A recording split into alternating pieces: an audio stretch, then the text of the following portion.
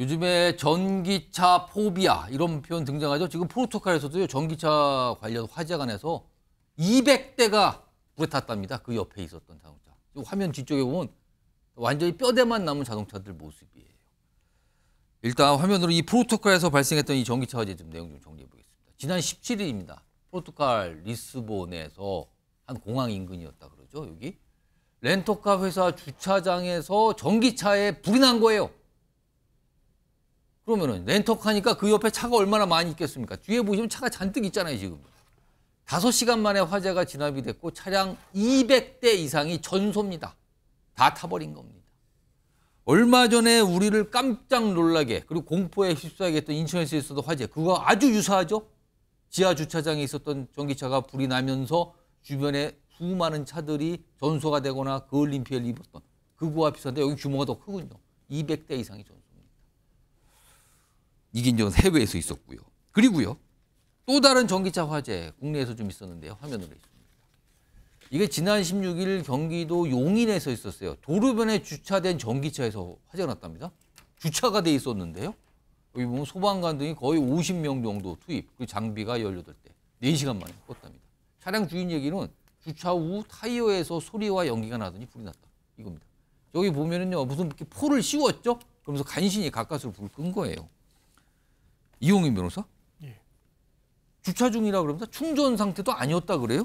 맞습니다. 이거 어떻게 된 겁니까 이거는 그러면? 그래서 보통 이제 우리가 전기차 화재가 발생했을 때 뭐 과충전 상태에서 화재가 발생을 한다 이렇게 예. 이제 보통 많이 생각을 했었는데 뭐 인천 청라에서 발생한 사고도 그렇고 지금 이 용인에서 발생한 사고도 그렇고 사실 충전 중이 아니었거든요. 음. 그렇기 때문에 이 원인에 대해서 더욱더 좀 오리무중이라고 생각을 하고 있고요. 그래서 하나의 뭐 가설을 생각을 한다면은 우리나라에서 이제 방지턱이 많기 때문에 전기차가 이 방지턱을 넘어가는 과정에서 충격이 가해져서 이후에 그 충격이 좀 계속해서 누적이 돼가지고 화재가 또 발생을 할 수 있다. 어. 이렇게도 이제 생각을 하는 것 같고요. 근데 어쨌든 지금 상황에서는 그래도 생각을 했을 때 이제 전기차 배터리에서 이제 화재가 발생을 했을 가능성이 높다라고 보통 추정을 하고 있고 지금 거기를 가장 강하게 의심하고 있는 그렇습니다. 거잖아요. 항상 예. 저 배터리 부분. 그렇죠. 그리고 리튬 배터리 자체가 이제 계속해서 이제 각 옆에 있는 그 전지들이 계속해서 불이 옮겨 붙는 구조여 가지고 이게 열폭주 현상이라고 해서 음. 천도씨까지 이른다고 하거든요. 근데 이거를 불을 끄기 위해서는 물을 계속해서 이제 발사를 하더라도 이 배터리 자체가 이제 차량 내에 금속으로 뒤- 이제 덮여 있고 그리고 이제 플라스틱으로 덮여 있다 보니까 깊숙한 곳에 있어서 물이 또 닿지 않는 그런 사실상. 밀폐가 된 상태가 예, 마찬가지잖아요. 예, 그래서 이거를 끌려고 해도 이제 4시간 정도가 소요가 되고 이때 쏟아붓는 물의 양도 어마어마하기 때문에 아. 이게 지금 한 번 화재가 발생하면 특히 옆에 차량 같이 여- 옆에 차량도 같이 있다라고 이제 가정을 하게 되면 그게 점점 더 이제 불이 번져나가는 그런 현상이 발생을 해서 피해가 한 번 이제 화재가 발생하게 되면 어마어마하게 되는 그런 상황까지 이르게 되는 것 같습니다. 그러니까 진화되기까지 너무 오랜 시간, 보통이 뭐 너다섯 시간은 뭐 기본으로 걸리고 아까도 보지만 용인에서 났던 이 전기차 화재 소방관 거의 10명이 동원이 된 거예요. 이 불을 끄기 위해서. 그리고 4시간까지 걸렸다 그러잖아요. 이게 너무나 많은 투입이 이루어지는 겁니다. 이 화재를 진압하기 위해서요. 이런 상황인데 그래서 그런가 이제 전기차 포비아라는 얘기 쓰는데 화면 좀 보겠습니다. 이런 일도 있었다 그러네요. 여기 보면 어떤 분이 저 본인 자동차에 관련 사진을 올리신 것 같아요. 전기차에 앙심을 품은 사람 같다. 사이드 미러 등을 파손이 됐다 그러는 거죠. 누군가가 파손시켰다는데 전기차라서 그런 것 같다.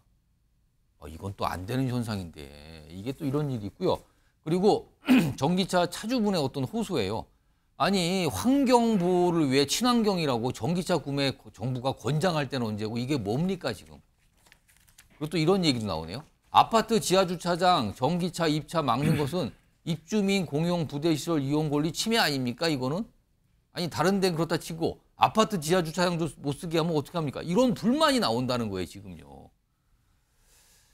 아 여러 가지 대책이 나오는 게 사실은 이게 근본적인 대책 맞습니까? 의문 나오는데 일단 정혁진 변호사 네네. 이런 가운데 지금 정부가 자동차 회사들 배터리 정보 완성차 업체들 배터리 정보 전기차의 배터리 정보 공개하라고 뭐 공고하고 공, 실제 배터리 정보 공개하고 있잖아요.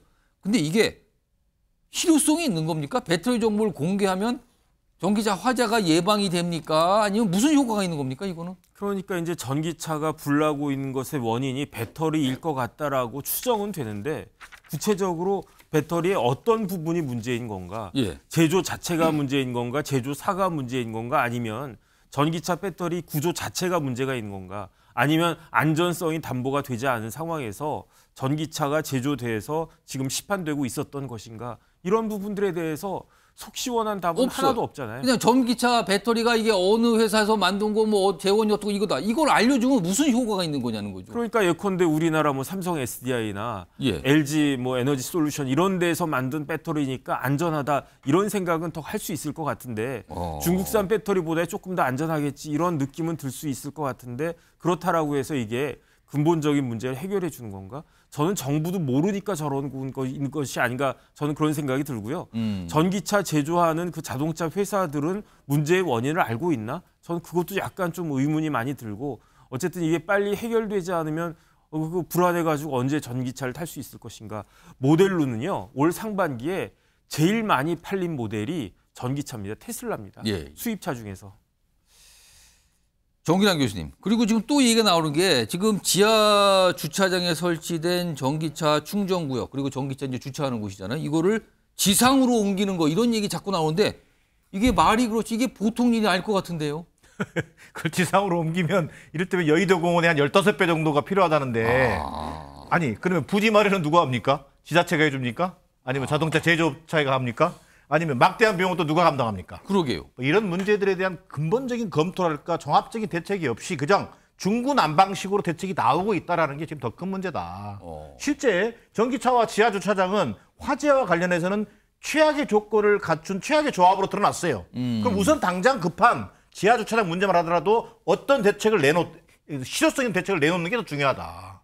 그냥 배터리 재원만 공개하면 화재가 안 나는 게 아니잖아요. 말씀했던 예. 것처럼 그런 것처럼 지금 정부가 내놓는 방식 자체가 그때 그때 사고 날 때마다 땜질식으로 대증요법식 내놓는 게 아니라 정말 좀 선제적으로 종합적인 대책을 하나 내놔야 된다. 그러나서 또 다른 사고 난다. 그럼 그때가 또 내놔야 되는 거죠. 예. 이런 어떤 좀 접근이 필요해 보인다. 뭐 이런 생각이 듭니다.